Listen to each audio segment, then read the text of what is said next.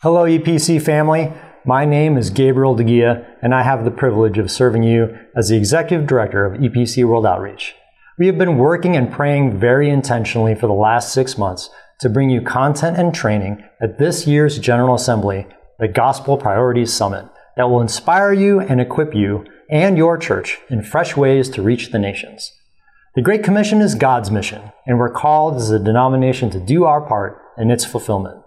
And our mission in EPC World Outreach is to serve the church in that mission to those with least access. The theme of the summit is Sharpen.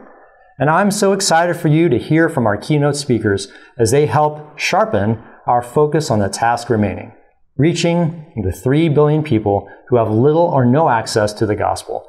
Both in our plenary session and equipping sessions, you'll be drawn closer to the heart of God and find answers to important questions. What's it really take to reach 3 billion? What can we practically do as a church? How do I unlock the mission's potential in my church? John, longtime global worker and leader, EPC teaching elder, will draw us closer to the heart of God for the lost.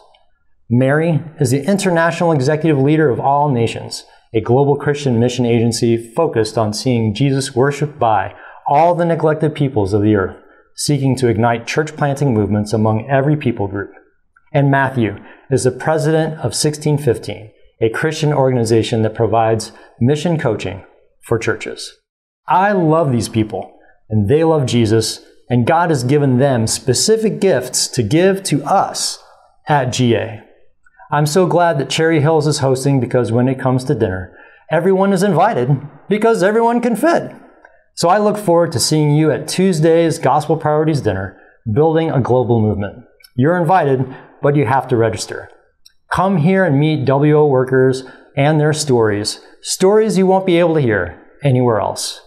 And God is on the move. He continues to raise up more laborers, and we all have the privilege of participating in the commissioning service of our newest global workers on Tuesday night.